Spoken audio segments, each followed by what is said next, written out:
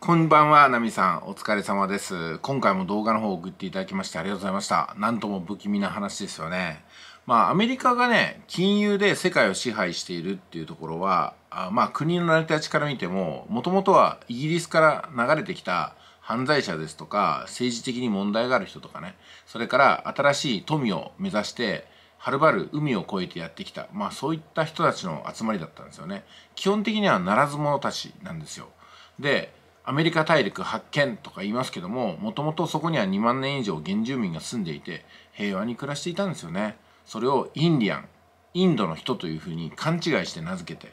えー、現地住民っていうのは結局ねチェロキー民族ですとかマヤアステカあインカというふうなね華々しい文明はあったんですけどもそこには戦争を超越して平和と文化と豊かさだけがもう反映したわけなんですよ。これはね日本人気質と言ってもいいんですけども日本人もやっぱりこう、えー、一部ね戦国時代みたいなのありましたけども結局は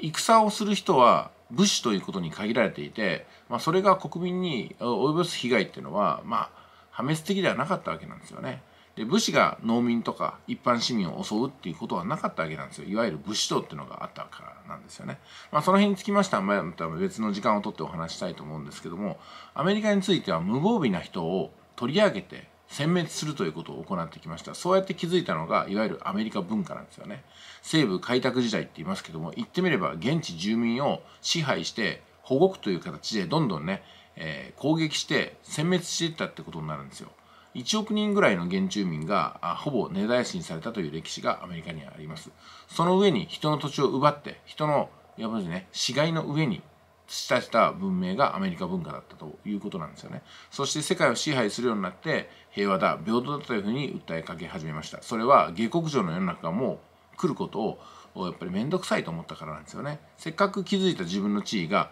復讐という形で暴力によって侵されることをやっぱりこう望まなかったんでしょうね。えー、ですんで主導権を握った後アメリカっていうのは世界にね目を光らして、えー、人を犯罪者扱いして抑圧するってことを続きましたしかし残念ながら、まあ、日本ではその恩恵がかなりあったのとやっぱりどこかでね暴力はやめないといけない時に復讐を許さない文化っていうのはどっかの時期に来るんですよね一方的にはやられ損って言えばその通りなんですけども現在そのやられ損で、えー、ね本当に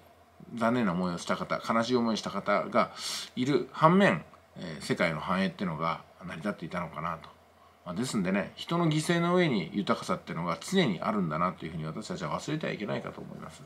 えー、そして今中国やロシアが旧世代的な暴力による支配を始めようとしてるわけなんですよね。そしてもうすでにウイグル自治区の問題ですとか始まっているわけなんですよ。まあ、この辺はもう足があ、ね、震えるほどの恐怖を覚えるわけなんですけども少なからず日本もその恩恵に預かっているってことはファーストリテイリングつまりユニクロですとかね無印っていう会社の、まあ、隠された闇についてどんどん調べていけばお分かりになることだと思います。日本に張り巡らされた2億枚以上の太陽光パネルも結局は人件費ほとんど無視のようなねそういったひどい作られ方によって多くの人が恩恵を受けるのとともに、まあ、搾取したその利益の上にあぐらをかいてるという形で何と言いますかねかつてのナチスドイツのようなね強制労働にも劣るようなひどい社会が今一部ではできているのかなと思います。私たちは日本にいて当たり前のように物を食べて当たり前のように退屈な日々を暮らしてますけどもこれはいかにね、えー奇跡的な出来事の上に一瞬だけの映画なのかってことを覚悟しなければならないのかなと思いますよね。で数年前からグレートリセットといってね世界の金融市場もしくは世界の文化が全部一回ガラガラポンになってねまたゼロからスタートするような世の中が来るんではなかろうかというふうにまああなんですかねあ煽られたりとかね都市伝説的に語られたりとかしますけども今回 FTX というね超大手暗号通貨の取引所が破綻しそれによって連鎖倒産がかなり今ね尾を引いてます。もしかしたらあの世界中で暗号通貨の取引の出金停止っていうのがあるんではないかなというふうに分析する人もいるんですよ。もちろんこういうのは警告なしにいきなり来ます。だからあなんとかショックっていうわけですよね。今回 FTF ショックっていうのは一時期バイナンスが保護するんではないかなというふうに期待されてましたけどもあのバイナンスですらね暗号通貨市場の9割を手中に収めたバイナンスですらどうにもできないというふうな、えー、とてつもないね事件になりました。で FTX は30兆円以上のお金を今ね、えー、失ったということになります。それだけレバレッジをかけていたんでしょう。独自トークンのやり取りによっていわゆる不当な利益を積み増していたっていう形になると思います。あの株式会社でも株の譲渡益っていうのがあったりとか複雑な仕組みがあるわけですけどもこちらに関しましてはあの少なくとも